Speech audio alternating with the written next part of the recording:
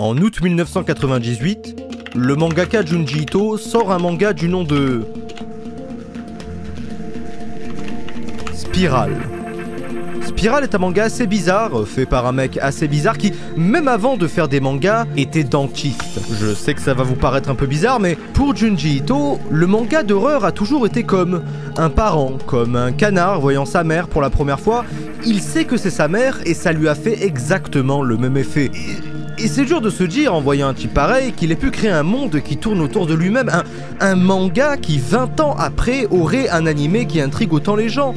Et il le dit lui-même, il ne veut pas juste faire peur, il veut déranger. Trouver cette fascination qu'ont les gens en eux de ce qu'ils ne connaissent pas et de ce qu'ils n'ont jamais expérimenté. Et pour tout vous dire, quand je vois la rivière qui forme une spirale avec ses nuages qui plient le ciel en forme d'ouragan, les yeux de ce vieil homme, même ma bande son semble onduler vers quelque chose de spirale.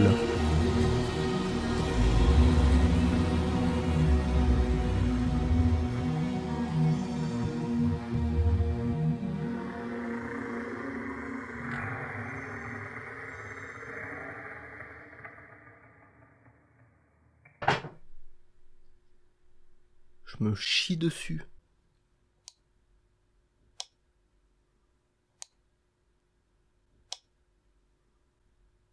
Pour vous parler un peu mieux de Junji Ito, il faudrait déjà un peu mieux parler de tout ce que j'ai regardé pour me renseigner sur lui. Et il y en a des choses. Son premier manga, Tomie, dont l'idée de base repose sur une personne décédée qui revient à la vie et retrouve ses camarades comme si de rien n'était, sauf que Junji Ito décide de se concentrer sur l'image de la jeune fille, idéale, japonaise, parfaite, et crée le personnage de Tomie, auquel il ajoute démembrement, meurtre, fusion de corps étrangers et... aucun scénario. Et ça, vous verrez, généralement, c'est le cas de presque tout ce qu'il écrit. Ensuite, j'ai lu plusieurs de ses histoires. Euh, Généralement, il en fait des courtes, des très courtes. L'histoire d'une famille qui voulait invoquer l'esprit de leur daron. Damien Rieu n'était pas dedans. L'autre, c'était un tunnel où les gens disparaissent tous, mais ils sont attirés. Une autre, c'était un marchand de glace qui attirait les enfants dans son camion pour les transformer en glace. Ce qui réunit deux de mes passions. Et l'autre encore, c'était des têtes géantes flottantes dans le ciel qui poussent les gens à se suicider. Comme si deux mandats de Macron ne suffisaient pas. J'ai raconté tout ça à ma mère et elle m'a enlevé de ses amis sur Facebook. C'est peut-être pour ça que je suis un fils de p. Est-ce que tout ça vous a fait peur? Non.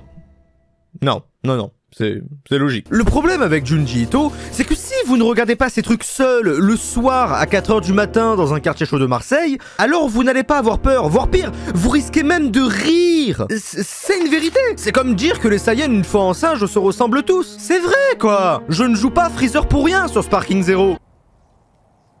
Ah bah un singe Mais le cas de Spiral est un peu plus particulier. On suit Kilie, une jeune femme belle, touchante, émotive, blonde, parce qu'elle est putain de trop conne. Kilie a une famille, elle a des amis et même un petit copain, mais quelque chose ne tourne pas rond dans sa ville natale, ou plutôt, tout semble tourner rond. Des tornades apparaissent de nulle part, l'eau du lac ressemble à ça, et le monde est en putain de noir et blanc. C'est un peu ce monde-là que j'imaginais quand j'entendais mes parents parler de leur vie. Tout semble affecté par la malédiction de la spirale.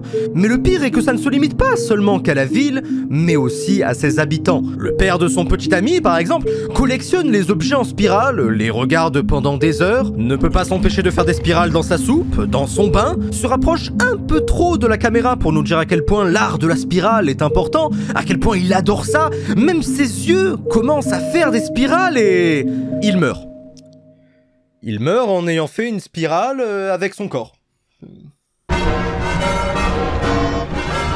Niveau de l'horreur incroyable, franchement ça me terrifie, mais niveau scénario, euh, c'est un truc de con quand même. Hein. Du moment que c'est un truc qu'aurait pu faire Bob l'éponge, euh, je remets en doute. Un peu comme Picsou pour les juifs. Dévasté, son fils et... Son fils est... Il, il, en a rien à foutre on dirait. Il ne pleure pas, il ne regrette pas, mais s'interroge juste sur la spirale, comme si « Oh non, mon daron est mort !»« Mais qu'est-ce qu'il s'est passé ?»« Mon père est mort !»« Comment ça s'est passé ?»« Il a fait la spirale, et puis il est mort. » Qu'est-ce que tu racontes, Shunichi? C'est possible qu'il y ait un lien entre la mort de mon père et les spirales. Mais je ne suis pas sûr, nous n'avons pas assez d'indices.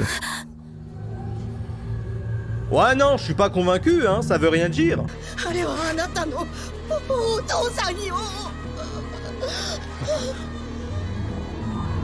Ah peut-être qu'il y a un lien, en effet. Et alors que nos deux protagonistes font le lien entre tout ce qui se passe autour d'eux et l'aspect il se passe plein de choses dans cette ville. Son ami Azami devient un tourbillon, ou la bouche de Kim Kardashian, appelez ça comme vous voulez, vu qu'elle gobe un gars tout entier. L'un de ses camarades de classe ne vient que quand il pleut, parce qu'il devient un putain d'escargot, vous avez compris? Et euh, à quoi ressemble la coquille d'un escargot? Oh! Oh ben ça doit être une coïncidence. Les cheveux de Kyrie deviennent, euh, comment dire, euh, prennent une forme vachement familière. Sa collègue fait la même parce que Lady Gaga est subitement revenue à la mode. Mais ce n'est pas tout, parce que le gros qui est devenu un escargot se fait bully. Son harceleur, par je ne sais quelle magie, devient aussi un escargot. Et... Et... Euh... Et, et puis il pratique le sexe. J'aimerais vous dire que ça a été écrit par un fou, mais ça a été écrit par un fou. En fait, on arrive à un stade où on ne saurait dire si l'auteur est complètement fou, incompris ou simplement un génie. Euh, non, non, non, non. D'une certaine manière, je crois qu'il est fou. Jusque-là, l'animé avait tenu ses promesses. Le premier épisode était comme nous l'avait promis le trailer. Il était beau, il était esthétique, un peu bizarre, mais surtout ultra fidèle au manga de base. Et c'est ça qu'on veut. L'animation est incroyable, la façon qu'a le studio de donner vie au travail de Junji Ito est perturbante. Mais ça, c'était jusqu'à l'épisode 2. Ah oui, parce que, au cas où vous ne l'auriez pas vu sur Twitter, l'animé se fait encore plus vanner que Blue pour son animation, et pour cause. C'est quoi cette merde? C'est quoi ce bordel? Une personne qui marche ne fait pas juste haut, bas, haut, bas. Une personne qui tombe ne fait pas ce mouvement-là. Et une personne qui court ne court sûrement pas comme ça. Mais alors pourquoi? Eh bien, il semblerait qu'ils aient viré le directeur du projet après le premier épisode. Certainement car ses objectifs demandaient trop de temps, trop d'effectifs ou trop d'argent, ils l'ont remplacé par un gars qui a fait ça. Et il semblerait que ça dure jusqu'à l'épisode 3 parce qu'ils ont prévu de ramener le directeur de l'épisode 1 à l'épisode 4. Mais on nous a quand même niqué l'épisode 2 et 3, donc euh, le mal est fait. Et euh, voyez, je n'ai pas pu m'empêcher de penser qu'on arrive à un point où chaque fois qu'on essaye d'adapter l'art d'un mangaka, souvent incompris ou inimitable, souvent ça foire. Arrive un point où les fans de Berserk n'ont plus aucun espoir. Chaque fois que le travail d'un mangaka dépasse un certain point de compréhension, ça foire. Et c'est ce qui est en train d'arriver pour Uzumaki. Il n'y a que dans la tête de l'auteur lui-même qu'on peut pleinement comprendre pourquoi il a dessiné ça, qu'est-ce qu'il voulait dire en dessinant ça, de quel coin de son imagination ça découle? Pour comprendre tous les aboutissants d'une œuvre aussi complète, aussi autonome dans son univers, on est forcé d'entrer dans le royaume de l'imaginaire, dans le délire complet de l'auteur pour en saisir toute la portée. Et honnêtement, ça fait peur. Vu les interviews qu'il donne, euh, mais si vous avez suivi jusque-là, vous comprendrez que Uzumaki n'est pas à propos du scénario, ni de ses personnages euh, ultra euh, sous-développés, ni de l'animation de merde qu'on voit un peu souvent à partir de l'épisode 2, c'est à propos de l'immersion. Parce que dans le cas d'Uzumaki, on s'en fout, on s'en fout, on s'en fout, ça, ça reste regardable malgré tout, même si ça ne rend pas tout à fait honneur au manga de base, mais on s'en fout pourquoi On s'en fout? Parce que le plus important dans le travail de Junji Ito, c'est l'art. L'art qui se dégage de ses planches, le, travail méticuleux de l'auteur de te noyer dans l'ambiance en spirale qui se dessine. Ces lignes, ces cercles qui se rejoignent, tout est dessiné de sorte à faire sens. Et il est important que cela se dégage aussi dans l'animé, et ça se dégage dans l'animé. Je pense que l'auteur lui-même a dû avoir cette fascination pour les spirales, cette, force tracée infinie qui absorbe tout en son œil. N'importe quel fou pourra en faire le parallèle qu'il veut, mais Junji Ito a décidé d'en faire un manga entier. De l'horreur, du macabre et du dérangeant. C'est vraiment perturbant de voir un monde tourner aussi bien quand des choses aussi perturbantes font tourner le monde lui-même. On ne peut pas en sortir, on ne peut pas le comprendre et ça nous fait peur tu t'engouffres dans cette spirale, ce, ce cercle vicieux. Qu'est-ce qui était là en premier, l'œuf ou la poule? La spirale tout a un lien avec la spirale parce que tout finit par elle et tout se rejoint par elle. C'est le commencement et la fin de tout dans cet animé. Être au centre de l'attention, se lier d'amour, se, se, creuser la tête, tourner en rond, tout a pour objectif de servir la spirale. Et c'est terrifiant, tu ne sais pas ce que le fou du Japon a écrit pour toi et tu redoutes de voir toutes les atrocités qu'il a pu imaginer pour en arriver là. Et pourtant, il y a comme une curiosité morbide, voire fascinante dans cette spirale. Tu veux voir jusqu'où va le fruit de son imagination? Tu veux, tu veux voir où c'est que ça va en venir, ce qu'elle veut dire, d'où elle vient et où va-t-elle nous mener? Et en fait, il ne répond à aucune des questions.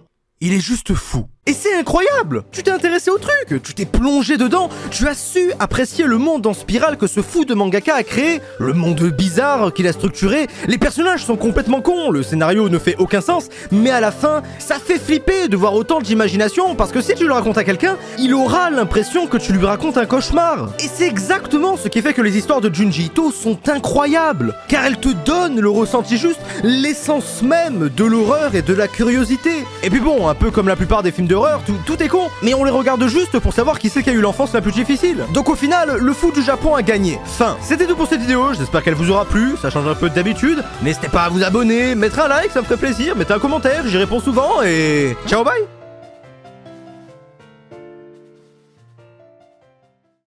Comment Feldup fait pour tourner là-dedans, la putain de sa grand-mère? J'y vois rien du tout, j'y vois rien